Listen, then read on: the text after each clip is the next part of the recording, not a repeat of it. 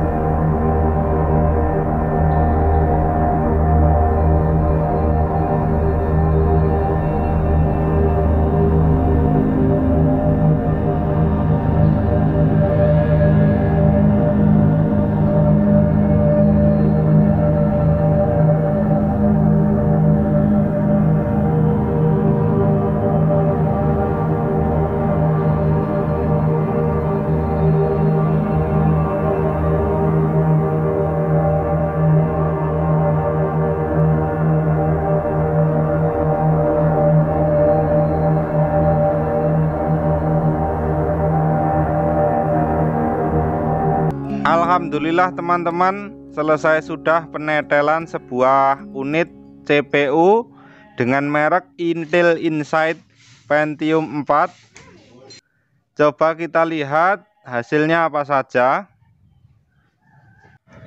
Tentu saja box CPU ini berbahan besi B. Sebuah mainboard chip 1 ya cukup ombo juga ini. Bobotnya 570 gram ini. Sebuah prosesor Intel Pentium 4 kemudian dua lembar RAM. Kemudian ada pendingin munium. Wah muniumnya kandel banget. Cemokot kemudian ada sebuah floppy. Kemudian ada harddisk ATA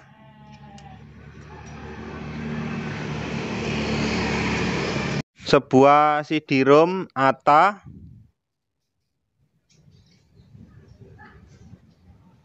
beberapa gram kabel.